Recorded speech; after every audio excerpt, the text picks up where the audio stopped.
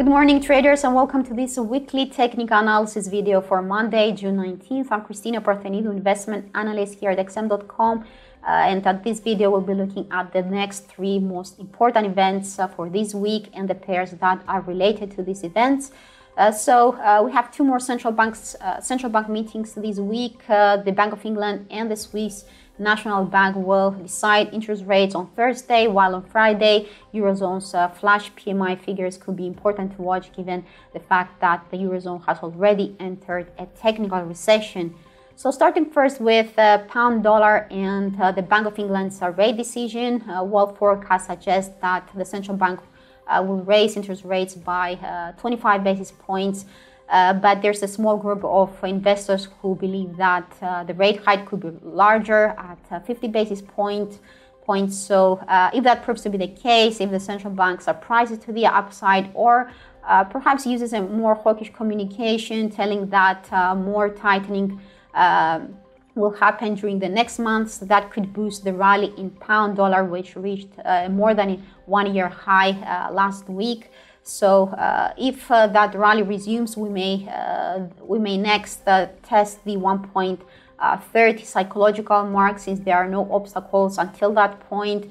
Uh, that is also where the 61.61.8% Fibonacci retracement of this downtrend over here is located, while that constraining line from September 2022 is also located here. So uh, the 1.30 region could be uh, a key area to watch if this rally resumes.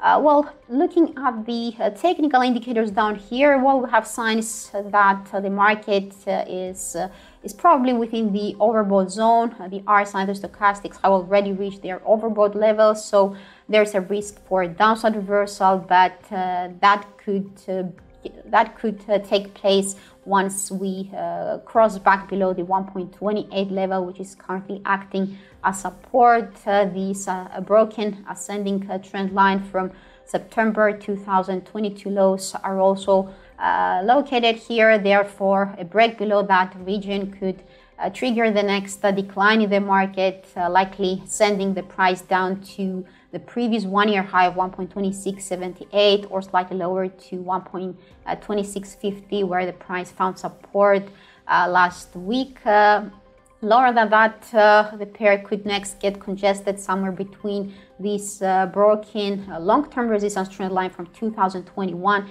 and the surface and the upper boundary of this uh, Ichimoku cloud uh, both seen between 1.2580 and 1.2540. Uh, there might be some uh, sideways move here before we reach this uh, short-term support trend line seen around 1.2465. And uh, now turning to the next central bank, the Swiss uh, National Bank. well, forecasts here are, well, investors here are more indecisive about what the next rate hike will be.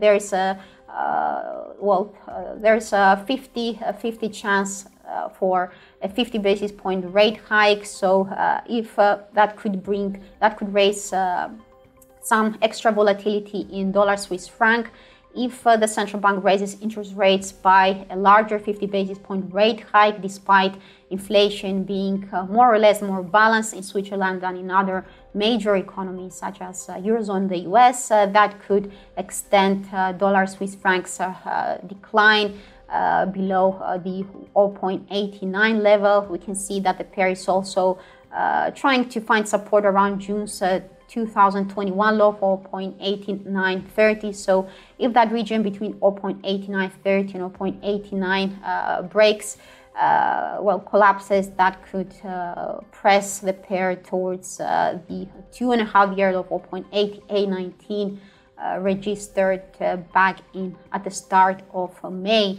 Uh, lower than that, um, we may see the pair could next find support around the 2021 low of 0.8755 while below that the focus will turn to the 0.8665 uh, and 0.8635 uh, region where these Uh, support lines coming from uh, 2022 are uh, located. Uh, well, uh, looking at the technical indicators, well, the bias is still bearish here. We can see that both the stochastics and the RSI are still trending downwards. Uh, but if the pair manages to stay above uh, 0.8930, uh, we might see another battle near the 0.8980 key region where the price found uh, resistance a couple of times during the previous months. Uh, the 50-day moving average is also located here.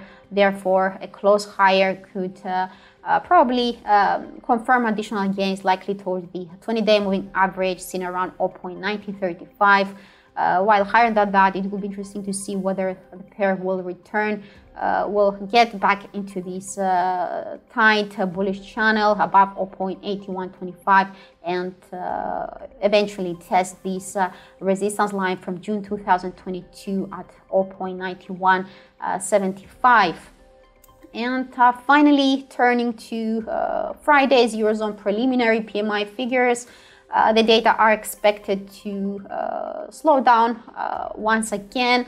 Uh, if the if the surprise if the if the data surprise to the downside, signaling that the eurozone economy is probably further weakening and that the technical recession could further deteriorate, that could send euro dollar uh, probably to the downside. Uh, the pair is currently trying to uh, set a strong foothold around the 0.920 region. That is where the 61.8% Fibonacci retracement of this downfall over here is located. Uh, well, uh, if that breaks, if the data send the price below that level, then the next support could develop near the 50% Fibonacci of 1.08 uh, 60, while lower than that, uh, the pair could uh, retest its 20 and 50 day moving averages around slightly above 1.0810, where the 38.2% Fibonacci level is uh, placed. Uh, well,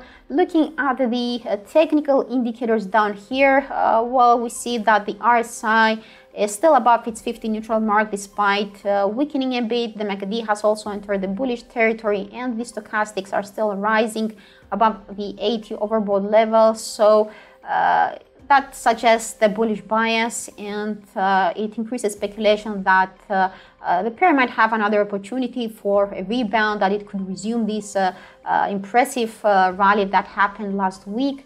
So, uh, well, we see that uh, we have a doji, uh, a bearish doji candlestick over here. But if this, uh, if today's candlestick uh, turns green again, if we rebound to near 1.0920 and move higher, then the pair may retest the 1.10 psychological mark and perhaps uh, revisit the 1.1033 and 1.1050 key uh, constraining zone from uh, from spring, uh, break of which could then uh, probably challenge the one-year high of 1.1094 registered back in at the end of April, uh, while a break while slightly higher and a move above 1.11. 23 could take us back to 1.1185 and 1.1220. Uh, so uh, that's all for this week's uh, key uh, events and uh, FX charts. we will be back next time to, to discuss more about fundamental and technical news. Thank you for watching and see you next time. Bye bye.